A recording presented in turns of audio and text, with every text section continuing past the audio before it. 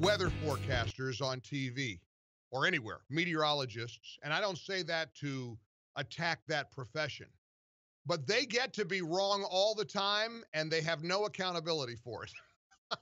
you can be wrong about every hurricane, every forecast, every threat of rain, every promise of sunshine, heat waves, cold snaps. You can always be wrong, and yet you still keep coming back for more. That's the gloom and doom crowd right now about this pandemic. They are all about, well, yes, but, yes, but, yes, but. I mean, the numbers may be really going down. Oh, and they are. The new infections are going down. The the deaths are going down. Thank God for that. And, you know, one death is too many. My heart breaks for everybody who has lost a loved one of any age. It doesn't matter. It doesn't matter if you had a pre existing condition. Who cares if you had a pre existing condition? You know, COVID 19 is a vicious, vicious virus, but all the numbers are looking good. States that opened earlier than people wanted are not seeing spikes. States that stay closed are seeing spikes. Go figure. Hmm.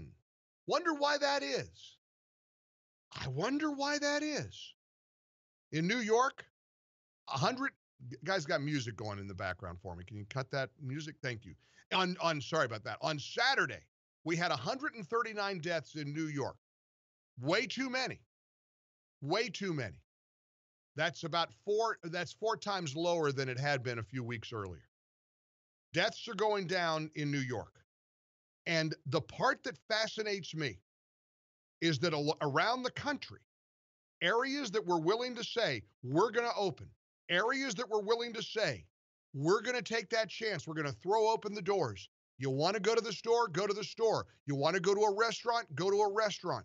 You want to go out? Go out. We're not going to drag you around if you don't have, if you're not following our dictates. Well, here was Alex uh, Azar, the Secretary of Health and Human Services, being grilled by Jake Tapper on CNN yesterday. Listen to what Secretary Azar said about the states that are that opened versus the states that have stayed closed. Are they taking measures such as social distancing and masks that that make this reopening work? Yeah, Jake, I think your question is very insightful. We we are seeing that in areas that are opening, uh, we're not seeing this spike in cases. Uh, we still see spikes in some areas that are in fact closed, very localized situations. Huh. Say that again, Mr. Secretary. We're not seeing spikes in places that opened, but we are seeing spikes. We are seeing spikes where states stayed closed. Hmm. See, that's the kind of stuff that the media doesn't want to focus on at all. I just got a text message on the My Pillow text line in Detroit. There's been a hotbed, and Michigan is very, very alive right now with passion, protests. People are really angry in Michigan. According to a text messenger, I don't know if it's true. I'm just telling you what I was just received zero deaths reported in the city of Detroit, which has been a hotbed of coronavirus. Listen, the numbers are completely down across the board. They don't want to acknowledge it because they want the misery index. They want the the angst. They want uh, and, and listen, maybe some of them have a good faith intention in not getting complacent. And incidentally, I don't think we ought to get complacent. I do believe we ought to be careful. I do believe we still ought to be safe and we ought to stay six feet away from each other for the time being. And yep, you don't agree with me? That's all right. I think we ought to wear masks when we're in public, in particularly indoors around other people. Because I don't want to, to be asymptomatic. I don't want to get it somewhere and give it to somebody who might not make it. I, eh, eh, you you don't want to do it that way. That's fine. I mean, I get it. We're America. You do what you you do what you feel comfortable doing. Uh, and I don't know. I could be so wrong, and you could be completely right. I don't want to take the chance. I don't want to roll the dice. It seems to me It doesn't take a Rhodes Scholar to figure out if there's a transmissible disease. If it's a virus that we know is human to human, well, then the less human to human contact we have, the better. Don't know why that's hard for people. Uh, maybe people just don't care if they get it or not. I do. I don't want to be sick. I don't want you to be sick. I don't want anybody to be sick. So we're we're beating this thing. We are pushing this thing down. We are winning. And I can't speak for the rest of the world, but I like being on the side of optimism. I like being on the side of enthusiasm. That, of course, is best personified by this American president. Trump's attitude has been one of optimism, cheerleading for the American people, cheerleading for the private public alliances that have been formed, rooting for technology to win, rooting for a vaccination that he says will come by the end of the year. A lot of the gloom and doomsayers say there's no way that's going to happen. Listen, I believe the American people are, the majority of Americans are a resilient, enthusiastic, optimistic bunch. Do you think the Democrats are being optimistic? Do you think the media is being enthusiastic or positive about these de- decreasing numbers?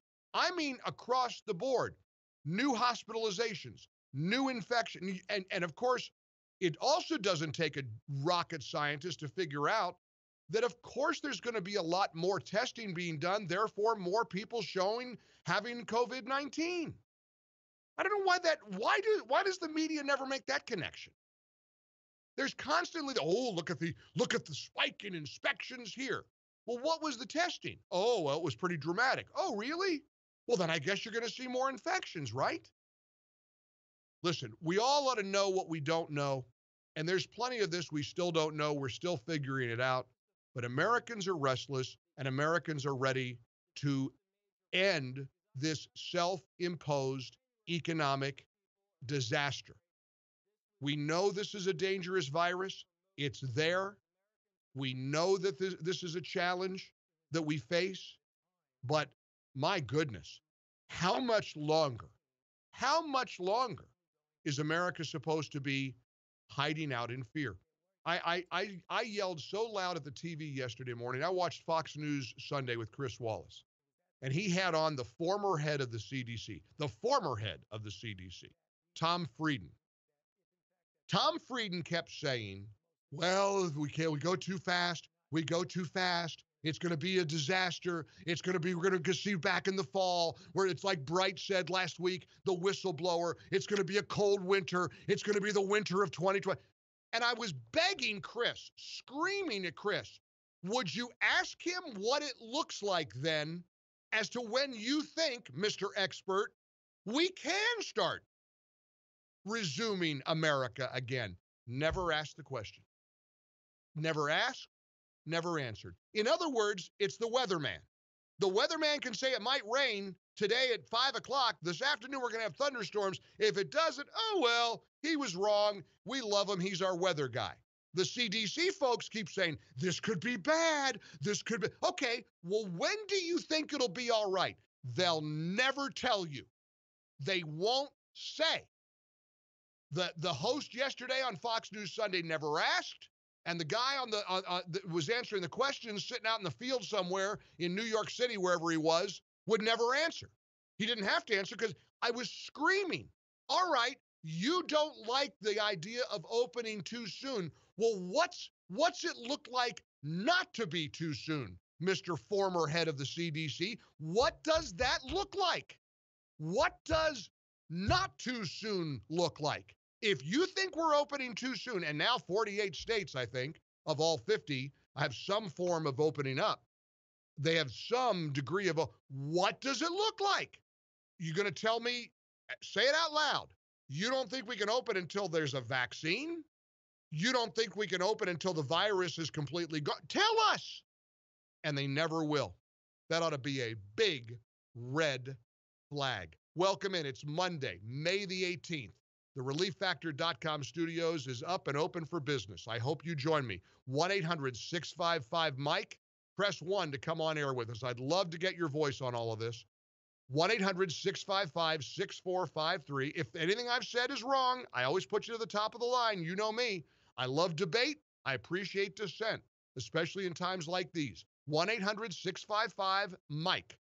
Press 1 to come on air, 2 to leave a voicemail message. You can also text us your comments to the My Pillow text line, which is also 800 655 6453. We're at 475 kids that we're going to be sending big gift baskets to, big, big goodie boxes, big care packages through our Prison Fellowship Angel Tree campaign. Could today take us over 500? Do I dare dream that maybe today we can get to 550? We've had some good days last week.